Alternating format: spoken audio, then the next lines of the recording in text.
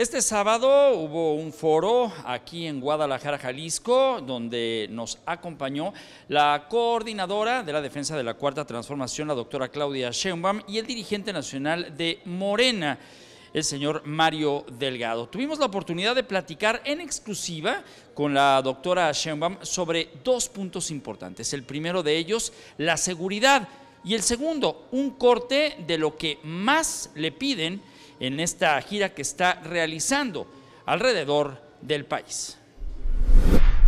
En la primera entrevista que tuve justo aquí en Guadalajara hablábamos acerca del cierre de previo a la gran encuesta. Hoy se lo vuelvo a preguntar ya cuando tiene recorrido pues gran parte del país. ¿Qué es lo que le piden ahora a Claudia Sheinbaum como pues coordinadora de la defensa de la cuarta transformación? ¿Qué son los puntos eh, vitales para que una vez que comience, y ahora sí, eh, el tema de las propuestas como tal, comience a trabajar en ese esquema de la reconstrucción en México. Sí, depende mucho de, los lugares, de las entidades. Primero me piden que no se acaben los programas sociales. Segundo me piden gobierne como el presidente López Obrador, cercano a la gente, que nunca se olvide de los que menos tienen.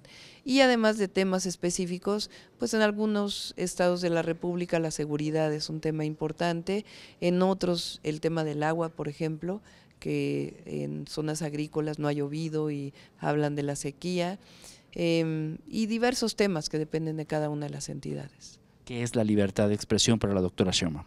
Lo más importante es, eh, nosotros luchamos por las libertades, en todo sentido, libertad de expresión, libertad de manifestación, y eso tiene que seguir ocurriendo.